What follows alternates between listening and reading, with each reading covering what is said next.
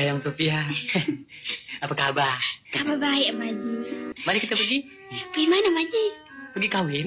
Pergi kahwin? Uh-huh. Marilah. Eh, bukan main senang nak kahwin. Ada canda. Assalamualaikum dan hari ni hari special sebab saya nak cakap pasal kahwin, beli kereta ataupun beli rumah dahulu. Iyalah kan? Sebab ini adalah tiga benda ya, tiga benda yang ramai rakyat Malaysia, terutama sekali orang yang muda yang baru nak masuk kerja dan disuruh-suruh bila kamu nak kahwin. Ada juga yang tanya, bila kamu nak beli rumah? Tapi dalam hati you, you rasa you perlukan kereta. Okey. So mana satu yang you patut buat dulu? Ha, kalau kalau you nak tahu jawapan dia, bagi tahu sikit lah eh. Bagi tahu sikit. Jawapan sebenar dia adalah it depends. Kita intro dulu ya. Let's go. Okay, so first of all, I nak preface kan IP video ni dengan mengatakan kahwin itu adalah cantik is is the best. Isu yang I selalu ada adalah majlis perkahwinan tu.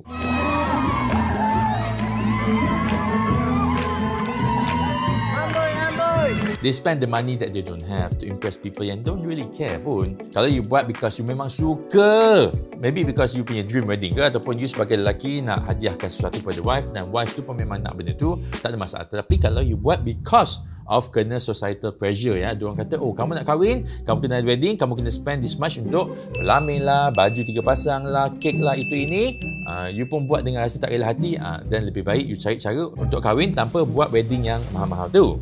Tetapi kahwin tu is nice. Dan in fact ya, video ni sebenarnya is a rehash of my old video yang I posted on the 26th of May 2021. Dua tahun setengah sebelum ini. And you tahu tak what happened in May 2021?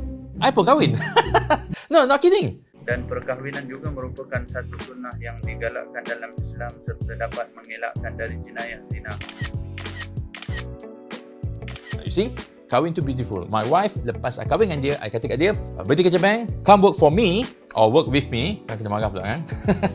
Dan of course, I bayar gaji dia. So, berkahwin tu is something beautiful.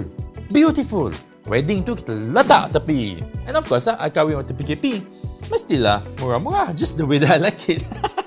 And bahagia dan berjaya. Bukan I saja eh. Ramai orang kat luar sana yang kahwin dengan wedding yang murah ataupun langsung tak ada wedding sebab PKP dan diorang bahagia sajalah. Persoalan yang korang ada sekarang ni maybe adalah nak kahwin dulu ke, nak beli kereta dulu ke, nak beli rumah. Okey okey. Like I said awal-awal tadi, jawapan dia adalah it depends. Kalau you dah jumpa orang yang sesuai untuk you, yang yang you rasa you dia boleh naikkan you dan diri dia bersama-sama secocok dari segi career dan mindset, sekufu dari segi pembelanjaan dan investment, nak tunggu apa lagi? Kahwin je lah, tak ada masalah. It doesn't matter ya, you tak ada kereta ataupun tak ada rumah selepas you dah kahwin tu. Sebab you boleh lah beli kereta dan rumah tu selepas kahwin. Cuma isu dia yang yang you nak kena decide sendiri adalah setiap orang ada nasib yang berbeza. Kalau saya kata, kahwin dulu baru beli rumah. Sekali umur 30 tahun, 35 tahun pun umur tak kahwin-kahwin lagi for whatever reason lah ya. Habis takkanlah tak nak beli rumah langsung. At the same time, kita cakap pasal rumah ya. Ada orang kata, nak kahwin, kena beli rumah pula. So, you pun daripada keadaan yang tak ready untuk beli rumah, telah dimomok-momokkan untuk beli rumah awal sangat. Rumah ni, dia boleh jadi rumah yang you beli untuk investment ataupun untuk duduk sendiri. Yang selalu orang cakap pasal kena beli rumah sebelum kahwin adalah untuk duduk sendiri. Sebab konon lah sewa tu tak bagus. Itu adalah mentaliti yang lama. There are people out there yang dia misal beli rumah duduk sendiri. Betul. You start kerja. Gaji you tak banyak. Maybe RM2,000 to you as a one person, maybe rasa 2000 tu cukup lah. Maybe, maybe lah, maybe. Boleh beli rumah tak dengan 2000 tu? Boleh. Tapi you punya option limited lah. Rumah 200,000 dan ke bawah sahajalah. And then you pun beli kononnya dekat tempat kerja you yang tak confirm lagi. Contohnya, first job you, you dapat dekat Kelang. You beli dekat Kelang. Rumah tu tak siap lagi. Maybe ambil masa 2 tahun, 3 tahun untuk siap. Lepas 2-3 tahun, you pun dapatlah kerja yang lebih baik kat KL ke, dekat Putrajaya ke, dekat Kajang ke. Gaji you naik lah. Rumah kat Kelang pun siap. Pekerjaan you dekat Kajang tu pun uh, stable dan you suka. It's an offer that you cannot refuse. Apa you nak buat dengan rumah kat Kelang tu? Hal nombor dua pula, let's say lah. Waktu you beli tu, you tak tahu lagi siapa you nak kahwin. Kita apa? Tapi jodoh kan, tiba-tiba you kahwin dengan orang yang kerja dia dekat Bangi. Contohnya, contoh. Dan isteri you tu pun, career tu pun bagus. Tak logik ya ataupun bukan kebiasaan untuk si suami dan si isteri yang kerja berjauhan ni, isteri yang kena travel. Tak. In this case, you akan menyewa dekat dengan Bangi dan rumah you dekat Kelang tu yang you beli untuk duduk sendiri tu You terpaksa sewakan.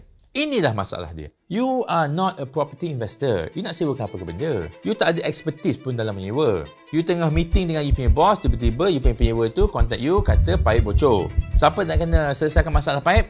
Landlord. You waktu tu lah nak kena scramble pergi call the plumber, pergi call electrician kalau ada isu-isu lampu ke apa ke. Lepas tu kalau penyewa tu pun keluar halfway, you nak kena cari penyewa baru. Nak kena deal dengan agent lagi. Inilah masalahnya. Bila you beli rumah semata-mata. Again, I bukannya kata kat you, jangan beli rumah. Tapi you kena beli rumah dengan conviction. You kena faham, aku nak beli rumah sebab memang isteri aku nak duduk sini. Eh, nak beli rumah jangan main-main. Loan sampai 35 tahun. Mana boleh you buat decision sendiri? You kenalah buat keputusan bersama-sama dengan pasangan you. Bawalah strong. Sayang, do you think I should do this, this, this, this? Uh, then, uh, my wife akan bagi pandangan dia ataupun tanya pendapat untuk tahu pendapat. What's your view? And then maybe I can tetap buat keputusan. Tapi, you cuma boleh berdiskus macam ini dengan pasangan you lepas dah kahwin lah. You tahu rumah ni maybe you beli untuk investment instead of you invest dalam pelaburan yang lain invest dalam property and then lepas dah kahwin barulah you pilih rumah yang you betul-betul nak duduk waktu tu you boleh combine your income untuk beli satu rumah you boleh tanya pendapat you like this place you like that place tak adalah you beli ikut you saja. Isteri yang kahwin dengan you pun terpaksa lah ikut. Maybe dia punya mak ayah kat sana ke, hati isteri kena jaga juga. Mana boleh ikut you saja. Then of course, I nak cakap pasal kereta pula. Now, kereta ni, Dekat Malaysia adalah keperluan asas nombor empat. Kenderaan lah bukan kereta saja. Persoalan dia adalah should you buy a kereta ataupun rumah ataupun kahwin. Again it depends ya. Kalau mak ayah you dah bagi you kereta, Yelah sama because lelaki. Graduate je terus dapat kereta MyB tahun 2008. Okay lah. You ada. So you pakai dulu. Sampai you rasa the need to upgrade. And the need to upgrade might be quite early ya. Sebab kereta ni bukannya setakat daripada point A to point B sahaja. It has to be from point A to point B safely. Maknanya dengan equipment-equipment safety yang bagus lah. Ada ABS, ada airbag, ada ADAS, ada sleeping monitoring system, macam-macam lah. So, you kena decide sendiri lah nak pakai kereta 2008 ke, nak beli kereta second hand 3 tahun lalu ke, ataupun kereta yang kereta baru. All because of safety. Nombor dua, kereta tu kena reliable. Konsep yang sama juga. You baru start kerja. Takkanlah tiap-tiap bulan you nak beritahu you punya boss, boss, sorry, saya masuk lambat because kereta saya tak start, saya terpaksa naik Grab untuk pergi kerja. Kena buat 3-4 hari lepas tu. Duit nak bayar Grab pun maybe dah banyak dah pada waktu tu. And benda ni memainkan peranan dalam you punya career trajectory. Bos akan kata, kenapa tak cari kenderaan yang lebih reliable? Dan nombor tiga pula adalah comfortably. Dalam hidup ni kita kena ada some comfort lah tak bolehlah kita nak ikat perut sangat sampai langsung tak ada comfortable. So you must spend sedikit sebab benda ni akan help you in terms of you punya stress level juga. Sebab itulah kereta ni is quite prioritized juga. It depends on you punya kemampuan jangan discountkan pembelian kereta. And of course ada orang akan tanya how about naik motor je? Tak ada masalah naik motor. Kalau you rasa you boleh bawa motor itu dengan selamat. Unfortunately untuk motor dekat Malaysia ni you kena faham eh sometimes bukan salah you pun salah orang lain. Ada orang leka main phone bawa kereta langgar you siapa yang sakit? Of course lah yang salah tu kereta. Tapi kita yang bawa motor ni dah kena. You punya safety ni penting.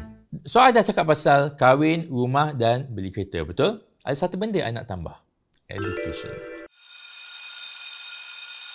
Now you see, some of you guys yang dah kerja 3-4 tahun akan perasan ya, okay, kalau aku nak level up, I need more education. Maybe you dah ada degree tapi you nak dapatkan masters. And peluang untuk belajar ni banyak. So sambil you belajar, you boleh dapat stipend, you boleh dapat allowances, boleh dapat gaji lah so to speak. Tapi bukan mudah ya untuk let go of all these tiga benda yang cakap tadi tu, pasangan, kereta dan rumah untuk sambung belajar. So for some of you guys yang plan untuk sambung belajar atau pada hati lah untuk sambung belajar, you kena plan betul-betul. Orang yang nak kahwin tu, you kena beritahu, ah, sayang, abang uh, maybe ada plan untuk sambung belajar. So if I go to Australia ke, to UK ke untuk sambung belajar yang disponsor oleh MARA ke GPA ke, uh, you maybe kena ikut sekali. And bila you ikut sekali, maybe you tak boleh kerja pun. Uh, kalau you kerja pun, you kerja biasa-biasa lah jadi nanny ke apa ke, duit tepi-tepi lah. Tapi you tak boleh practice you punya pembelajaran. So benda semua ni kalau boleh you dah ada plan nak sama belajar. You rasa macam eh aku ni setakat aku jadi doktor biasa. Contohnya aku setakat engineer biasa. Aku setakat accountant biasa. Tak cukup aku nak sama belajar. Tapi dah jumpa pasangan. Dah kenal lah dah sayang dah. Nak kahwin ni cakaplah dulu. Sayang dah kahwin nanti ada peluang abang nak pergi overseas Oh, isteri pun kata, oh, okay. Kalau abang nak pergi overseas, saya ikut. Tapi kalau saya pun nak sambung belajar, abang pun kena ikut. Ha, barulah best. barulah cocok. Barulah tak akan berpisah. Tapi kalau benda ni tak cakap awal-awal, bergaduh lah nanti.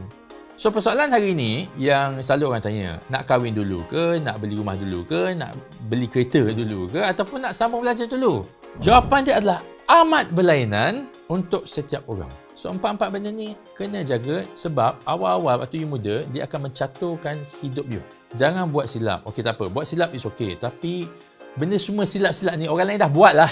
You buka mata you, you nampak semua orang dah buat silap beli rumah, silap beli kereta, silap kahwin, silap sambung belajar. Semua ada. Yang you nak buat silap lagi tu buat apa? Belajarlah daripada dia orang. Tanya-tanya. Bercampur gaul dengan orang tua, orang yang berpengalaman, orang yang berjaya dan juga orang yang tak berjaya. Tanya dia kenapa awak tak berjaya? Thank you very much. You guys awesome. Ha, kita ni nak melangkah ke tahun yang baru. Tahun 2024. Sebenarnya rasa tahun 2023 ni pendek je kan? Eh, pejam celik, pejam celik dah 2023.